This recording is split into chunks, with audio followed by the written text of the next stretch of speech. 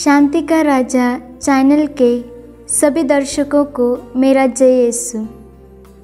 इस चालीस काल में आज के दिन हम शुद्धता के ऊपर मनन चिंतन करेंगे।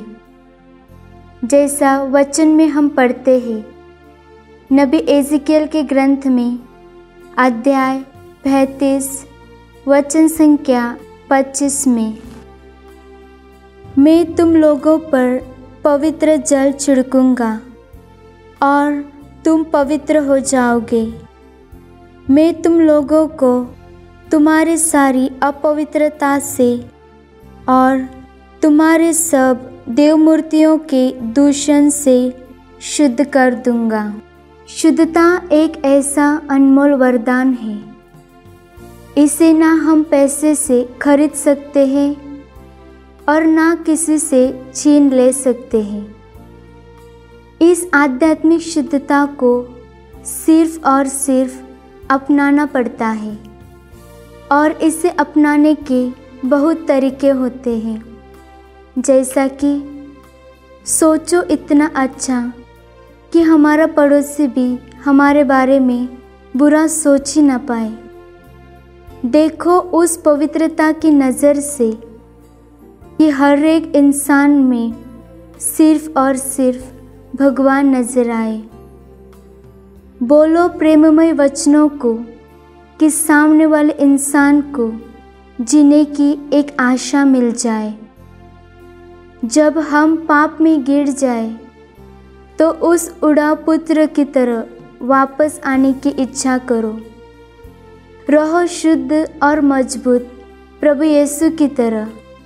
तो विपत्ति, बीमारी और अशुद्धता को अपने जीवन में आने का मौका ही न दो। जी हाँ मेरे प्यारे दोस्तों, सिर्फ़ प्रभु यीशु को अपनाने से हमें शुद्धता प्राप्त होगी। अगर हम में शुद्धता नहीं है तो चाहे हम जितना भी कमाएँ, वह सब मिट्टी के समान है।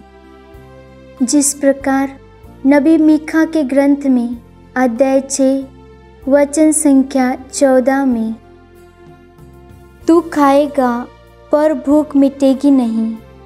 पेट हमेशा खाली रहेगा।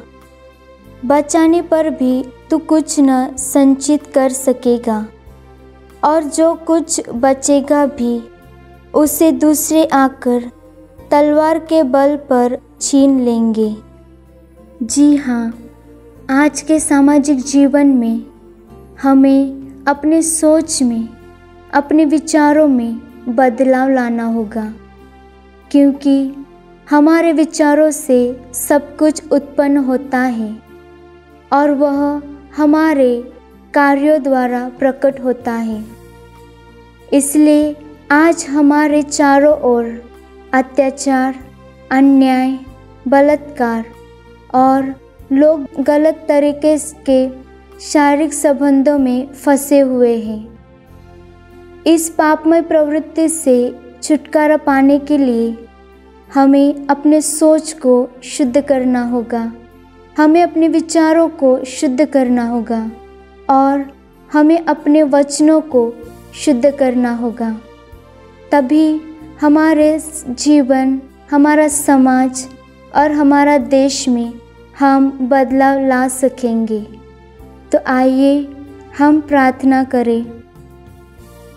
उन सबों के लिए जो पापमय प्रवृत्ति में फंसे हैं, जो लोग गलत तरीके से संबंध में फंसे हुए हैं, हम प्रार्थना करें उन सबों के मन परिवर्तन के लिए कि वे प्रभु के पवित्र रक्त द्वारा शुद्ध होकर एक नया इंसान बनकर जिए। आमीन।